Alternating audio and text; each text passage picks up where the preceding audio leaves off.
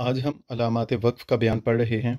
तो अलामत वक्फ़ में सबसे पहली अलामत गोल दायरे की है। ये अलामत आयत पूरी होने की है। यहाँ पर वक्फ़ कर लेना चाहिए, लेकिन ना करने में भी कोई हर्ज नहीं। उसके बाद ये दूसरी अलामत है, पाँच की शक्ल में होती हैं। इस अलामत से मुराद ये है, कुछ कुर्रा के नज़दीक यहाँ पर आयत है, जबकि कुछ कुर्रा हजरात यहाँ पर आयत नहीं समझते। अगली ये अलामत है लाम अलिफ्ला यहाँ पर वक्फ़ नहीं करना चाहिए। अगर वक्फ़ कर लिया तो फिर इरादा करना चाहिए। यानी पीछे से कुछ कलिमात मिला के पढ़ना चाहिए। आयत और लाम अलिफ्ला जब ये दोनों इकट्ठी आ जाएँ, कोशिश तो यही करनी चाहिए मिला के पढ़ें। अगर मिलाकर ना भी पढ़ा जाए, वक्फ़ भी कर लिया जाए तो इसमें कोई हर्ज नहीं। इसके बाद बकिया जितनी अलामत हैं जैसे वक्फ़ लाजिम, मीम है, यहाँ ठहरना चाहिए।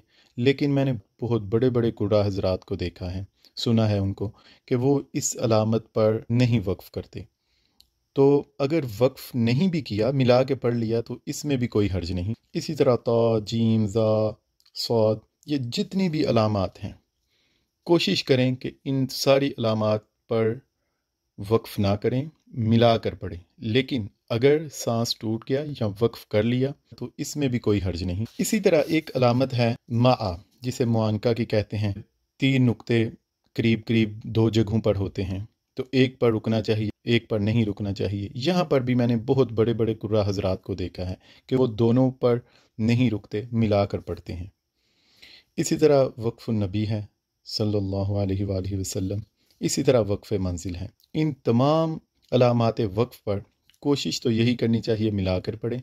लेकिन अगर वक्फ़ कर लिया तो कोई हर्ज नहीं। ला एक ऐसी अलामत है, जहाँ पर वक्फ़ नहीं करना चाहिए। सौद एक ऐसी अलामत है, जहाँ पर मिलाकर पढ़ना बेहतर है। उसके बाद अगली अलामत है सख्ता। सख्ता का माना होता है रुकना। कायदा इसका यह है कि कलिमा के आखिरी हरफ पर सांस तोड़े बगैर थोड़ी देर के लिए आवाज़ रोक कर ठहर जाने को सख्ता कहते हैं। इमाम हफ्स की एक रवायत के मुताबिक, चार ऐसी जगह हैं जहाँ पर सख्ता वाजिब है। पूरा कफ में है